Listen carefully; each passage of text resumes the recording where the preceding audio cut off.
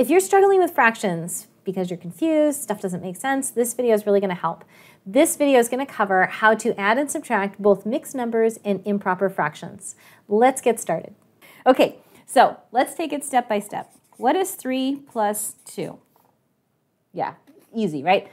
Are these mixed numbers or improper fractions? No, they're not, but they're easy to do, right? So let's do 3 plus 2. I'll write it like this so it's a little easier. 3 plus 2. Yeah, 5, right? Not hard. What is 3 and a half plus 2? Oh, just do it in your head. Just do it in your head. Yeah, if you have three and a half cookies and I give you two more, you have five and a half. So you just added a mixed number. You already know how to do this. Look, so if we were going to do three, let's, let's make it a quarter now. Okay. So this is what we're going to focus on today, this guy right here. So the first thing we do is we add the whole numbers and we add the fractions. And we do them step by step. So what's 3 plus 2? Yeah, it's 5. What's 1 quarter plus 1 quarter? Well, the first thing you got to do is you got to make sure those denominators are the same. And they are. So what's 1 plus 1? It's 2. And then you just carry the denominator. Okay, so we're going to break this down into step by step. All right, so this is the main idea of what we're going to cover first. Okay, so let's break it down. If I said 1 and a quarter plus 2 and 2 quarters, all right, so what is that? All right, so that looks like, can you draw me 1 and a quarter? Yeah, so you're going to draw something like this, and then color it in. How much is 1 and a quarter? Well, 1 is you ate the whole thing. You were very hungry. And then a quarter is, well, you ate that much. Yeah? All right, 2 and a quarter. Can you draw me 2 and a quarter? Yeah, you can make uh, Hershey bars if you want instead. That, that works too. Oh, wait a second. There you go. Draw me two and a quarter. Remember, because it's got that four, you know that there are going to be four parts to each one. So you ate one of them, two of them, and then two quarters means one, two. All right. So let's add the pictures first. How many wholes do you have here? One, two, three. How many bits? One, two, three. And the divisions are 4, 3 and 3 quarters. Let's see if we get the same thing on the other side. 1 plus 2 is 3. The bottoms are the same. You always have to check. Always have to check. And most of the ones we're going to do today are not going to be the same because you guys are good at this now. All right?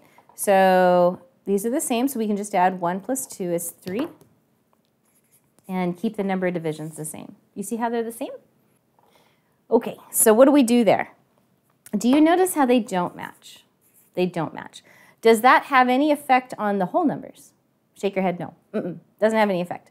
All right, so let's just deal with the fraction first because I know you know how to add one and two. Okay, so let's deal with this. 3 eighths plus a quarter. So what's the common denominator here? So we dealt with this for the past couple of weeks. So uh, you can review this if this is new by going back to a previous week. But basically what we're going to do is we're going to keep the top the same, 1 and 3 eighths. And we're going to bump this up, this quarter up, by multiplying the top and bottom by 2. Okay, we're going to carry the whole number over, this 2. 1 times 2 is 2. 4 times 2 is 8. Okay. Do you notice how they're the same now? Okay, good. That means you can put an 8 down here. 3 plus 2 is 5. 1 plus 2 is 3. And that's it. 3 and 2 over 9 plus 1 and a third. And if this is easy, by the way, you should be racing me to the answer. Okay. All right, so what am I going to, they, they're not, the, the denominators here are not the same. So let's convert them. 3, if I multiply this by 3 over 3, right, a clever form of 1, 3 times 3 is 9, so that will be the same as this one. So keep the top one the same. But the bottom one, remember we just carry the 1 over. All we're doing right now is working with this, this thing here. 1 times 3 is 3. 3 times 3 is 9. So we're just scaling up one third so we can add them. All right, what do we get? Can you add that and tell me what we get? Okay, go ahead and put it, uh, go ahead and add it up and put it in the box. Did you get 4 and 5 ninths? If you did, yes. If you didn't, do you know why how we get 4 and 5 ninths? 3 plus 1 is 4. 2 plus 3 is that 5 right there. And then the 9, somebody's asking why, why we don't add the 9 and made it 18. Um, so you probably want to go back to an earlier lesson. Um, but basically, these are divisions. So we're not adding the number of divisions. We didn't divide it more. Okay, we just said we had two out of nine. One, two, three, four, five, six, seven, eight, nine. And this one had three out of nine. So we had two here and three here. How many do we have? Five. Yeah, exactly. Good, good, good. All right. Harder one, huh? Okay, how about this one? Six and seven eighths plus two and three eighths. Whoa, what are we gonna do now? Are you seeing a problem yet? The eighths are the same. Let's just add them up. All right, so here's 6 plus 2 is 8. 7 plus 3 is 10 over 8. Does anybody see a problem with that one? we have an improper fraction here. Okay, good. Would you agree that this is the same number? What do you think? How did I do? Yeah, okay, so what did I do? All right, so notice there are, the, the top is bigger than the bottom. Okay, so that means, so let's just look at 10 over 8. Okay, 10 over 8 is the same as 8 over 8 plus 2 over 8. Would you agree? 10 is equal to 8 plus 2? Good. 8 over 8 is another way of saying 1 plus, and this is, oh, you can't see. There we go. And this is this guy. So I'm adding my 1 and I'm carrying it. So it, it's like the opposite of subtraction where we have to borrow. Now we have extra. And so we're going to add this, we're going to convert this and add part of this, which is 1, 8 out of 8 to bump up the 8 to 9. And then we have still a little left over. And then you can reduce this by dividing top and bottom by 4 to get 1 quarter. Oh, wait, I'm sorry, not 4. You almost let me get away with that. There we go. 2 divided by 2 is 1. 8 divided by 2 is 4, so I have 9 and a quarter. All right, let's work with this idea a little bit more. Yeah, so what did we do? We added them up. We just added them up because they, they matched, right? That's a 7 up here. Okay, and then we got an improper fraction, and then we took the whole part out, the 1, and added it to the whole number, just to kind of clean up the number. Clean up the number. Yeah. All right, let's, let's do another one like this. But uh, let's add a little twist to it because we like twists and turns. Otherwise, life gets a little boring. Okay. All right. Let's do, somebody has said we haven't done subtraction yet. You're right. Let's do some subtraction. Okay. If I take away the whole number part, what does it mean if I have two thirds of a cookie and you ate two thirds of my cookie? What did you eat? All of it, right? So do you see how this the fraction part was going to become 0. You see that? So there's nothing left over here. And so this is 0 over 3. And this is 3 minus 1 is 2. So we just call that 2. When there's no fraction part left, just you don't even have to write this part. You just write the whole number. Yeah, it's because these are exactly the same fraction. Okay, Let's, let's try it when we have something like this. 5 and 7 out of 8 minus 2 and a half. Okay, this is more like what you're going to see when you get to science and engineering classes. You're going to get this, whether you're working with chemistry and chemicals or force vectors and acceleration or bridges or something. They're going to look more like this. Okay, so how do we scale 1 half up so it matches the denominator up there? What do you want to do? Okay, how about we multiply the top and bottom by something so the bottom turns into an 8? Okay, 4 over 4, we'll do it.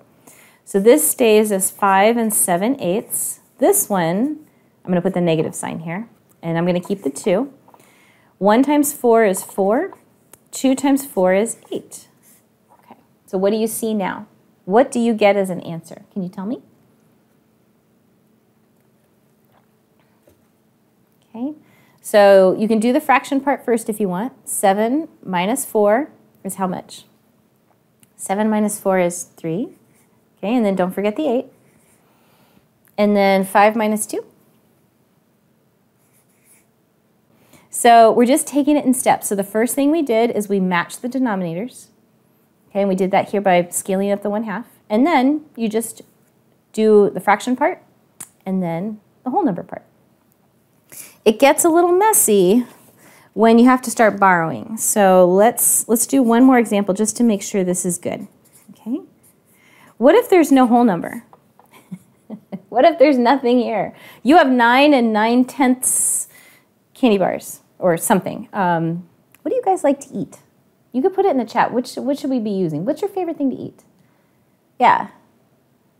Broccoli? Really? Somebody put broccoli. Okay, all right. You got nine and nine tenths broccoli. Carrots. Okay. Oh, you guys are super healthy. Look at this. Re oh, oh, here we go. Peanut butter cups. Okay, now we're getting, uh, this is more what I was expecting. Bubble gum. I don't know that bubble gum counts as a food. Okay, so while you're typing that in, all right, so we're gonna have to scale the one half up. Would you agree? We're gonna scale that up. So what are we gonna scale it up to? Uh, the 10. So what, what do we need to multiply top and bottom to make that 2 turn into a 10? You guys are still telling me about food. Ooh, somebody likes smoothies. Yeah, I like smoothies too.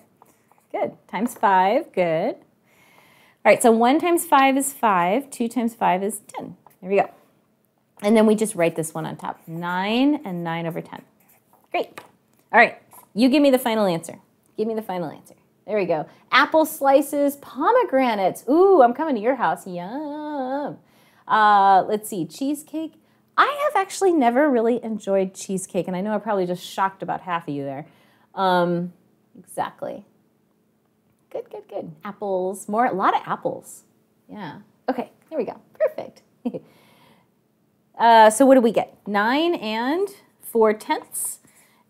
Exactly. So the nine drops down because there's nothing here, so it's just nine. 9 minus 5 is 4.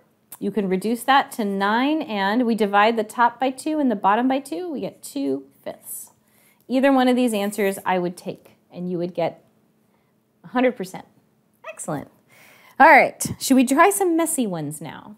I know, I, I don't know about you, but in math class, it always bothered me. The teacher always did like the easy ones, and then they gave the really hard ones for homework, and there was like no bridge between them, right? So let, let's do some messy problems now. Should we do messy ones? Yeah. Okay, so here we go. here we go. Um, oh, I'm thinking of another story, but I, I, need to stay on track or we're not going to get through it all today. okay, um, I'll tell you a, a, funny story later. One, three and a quarter minus one and three quarters. Okay, messy problem. Why is it messy? You tell me, do you spot the problem? Do you spot the problem with the problem first? Sorry, that was really bad English and probably made no sense. Okay. Um, can I take three quarters away from one quarter?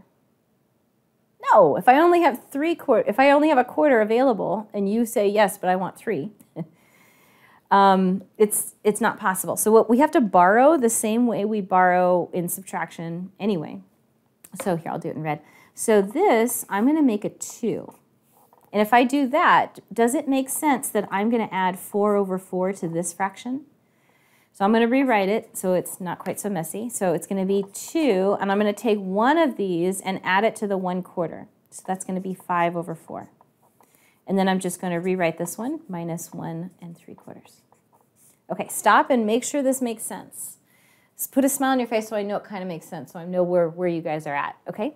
All I did was borrow 1 and I just can't throw it out the window. I have to do something with it. So I'm going to add it to the one quarter to bump it up to make it bigger. Just like when we borrow from the tens when we do our regular subtraction just with whole numbers. Okay, great. Okay, so 5 minus 3 is 2. Don't forget the 4. 2 minus 1 is 1. I can reduce this to 1 and a half. All right.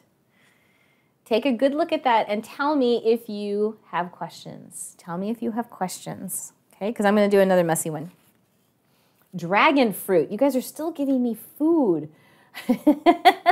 okay. All right. Let me let me do another one. Here, let's do one more, and then I'll tell you a, a, a short, really short, funny story. Because uh, I want to make sure we have time for our secret codes that I have in mind for you today. Okay. So I have one eighth, and I want to take away one half. Okay, so 1 eighth is like this. 1 half is like that, like an eighth of an inch, half an inch. So I want to take this much away from that, and it just doesn't work. So we're going to first bump this up so they're the same, and then we're going to borrow here. So we actually have, this is a two-step problem. So let's bump this up first. Okay, so I'm going to make, uh, the common denominator is going to be 8. So this is going to be 5 and an eighth, okay, minus 2. 4 times 1 is 4. 2 times 4 is 8, okay. But you see, we still have a problem. I'm trying to take 1 minus 4. Okay, so that's not something we want to do. So instead, what we're going to do is we are going to borrow. This is going to become a 4. We're going to say this is plus 8 over 8. Okay, so we're going to rewrite the problem again so now instead of a 5, it's a 4. And we took 1 away and we added it to the eighths. So we have 9 eighths. It's okay for this to be an improper fraction for um, when we, we need it to, for the calculation inside. Okay, it's just for the final answer that you want to reduce it. Okay, so what do you get for a final answer? Can you tell me? What do you get for a final answer? You get a donut. Oh, I think you're still answering the food question. okay, so again, we are just bar. The first thing we did is we scaled this up so the denominators were the same. And then we can't take 4 eighths from 1 eighth. Like there isn't enough. We can't take 4 from 1. I have one cookie, but you want 4. So what we do is we borrow here, take the 1. This is 8 over 8 is 1. And that's where it shows up. So we reduce the whole number by 1. So that becomes a 4. And then we add that 1 here as a fraction to get an improper fraction. So we have 4 and 8 plus 1 is 9 over 8. Good. All right, I see lots of answers coming in. Did you get this? Did you get that? 2 and 5 eighths? Yay! All right, if something doesn't make sense, you're asking me questions now. Okay, so I'll leave that up just for a second. How do you feel about fractions now? A little bit better.